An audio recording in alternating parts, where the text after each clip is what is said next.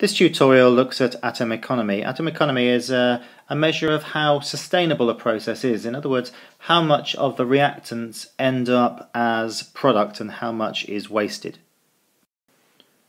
To calculate the atom economy, you need to memorize this formula that the atom economy is the relative formula mass of the desired product, the stuff you're trying to make, divided by the sum of the relative formula masses of all of the products expressed as a percentage.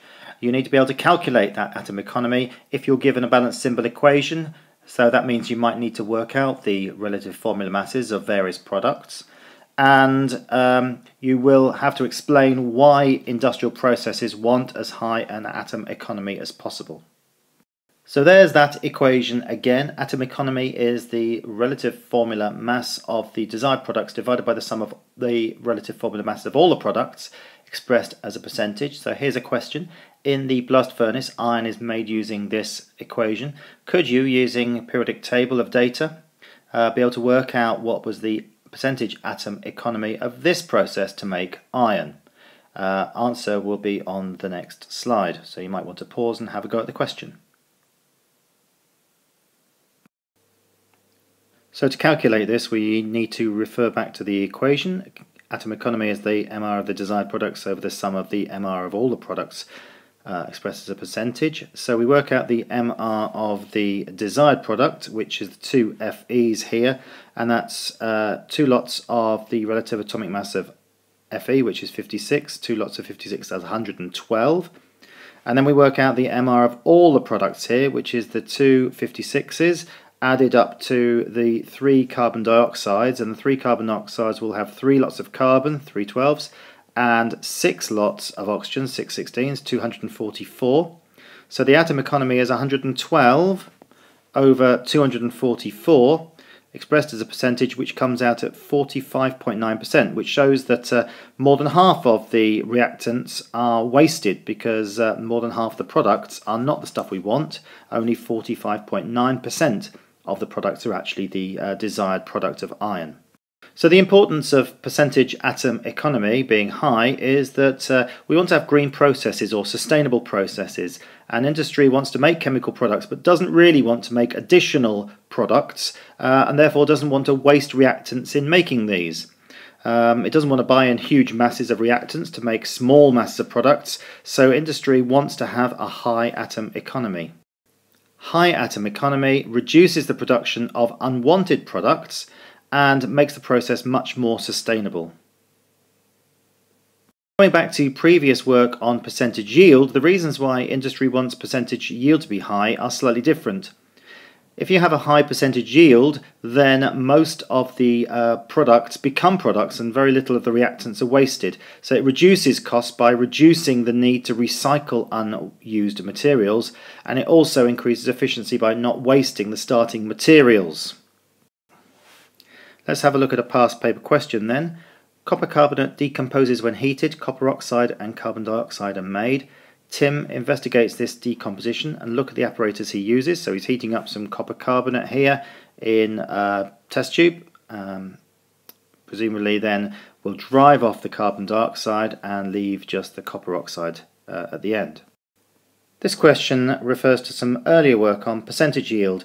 Tim heats 1.24 grams of copper carbonate in the test tube and he predicts he should get 0.8 grams of copper oxide but he actually makes 0.7. The percentage yield then equals the actual yield over the predicted yield times 100% which is 0.7 grams over 0.8 grams times 100 which is 0.875 times 100 which is 87.5 percent yield. And there's the answer. Note that you can get uh, one mark for giving the correct equation for percentage yield, so it's worth putting that into your answer. Well, here we're told that a factory manufactures copper oxide by heating copper carbonate. Now, copper carbonate, CuCO3, makes copper oxide, which is CuO, and carbon dioxide. The carbon dioxide is a waste product. Uh, look at the table of relative formula masses and calculate the atom economy for the manufacture of copper oxide. Well, if our copper oxide is our desired product, then our atom economy equals the mass of our desired product, which is our copper oxide, divided by the mass of all the products, which is CuO and CO2, expressed as a percentage. The copper oxide was 80 and the copper oxide plus the carbon dioxide would be 124 times 100% and that comes out at 64.5% atom economy. And there's the mark scheme, actually gives it to two decimal places, but 64.5 is fine.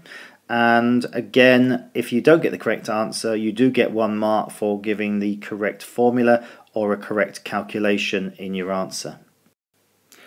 Finally, a very hard question. It's important for the factory to have a high percentage yield and a high atom economy and explain why each of these is important. Now it's two marks so you only have to give one reason for each but these are facts you have to learn.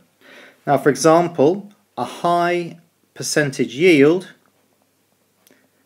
there's two reasons you can give.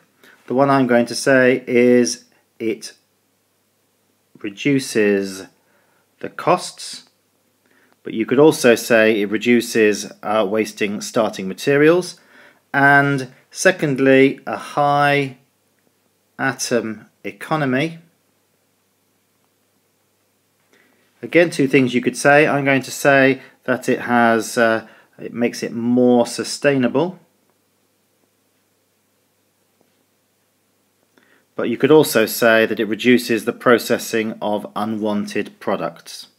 And here's the full answer. So high percentage yield reduces costs, increases efficiency by not wasting starting materials, reduces the need to recycle uh, unreacted reactants. Um, a high atom economy makes the process more sustainable or makes it more green or reduces the processing of unwanted products. But you can't just say cheaper it does say here, answers in terms of cost or efficiency alone are not worthy of credit. So you have to give one of these uh, answers which has come straight off the specification.